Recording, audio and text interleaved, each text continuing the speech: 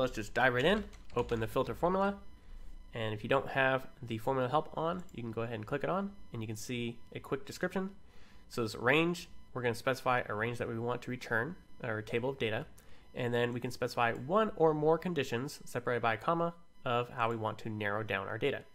So I'm going to go ahead and select this table over here, and I want to narrow down by fruit, and then I can just use a simple equals and a double quotes to type in apples, if I can type that in, and we have it right there.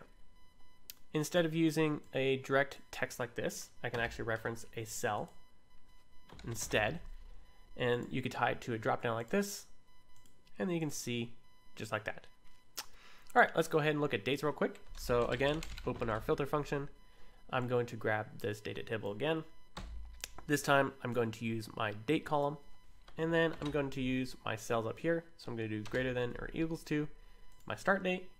And then I can add another condition and add the end date by simply selecting the date column again and then doing less than or equals to my end date.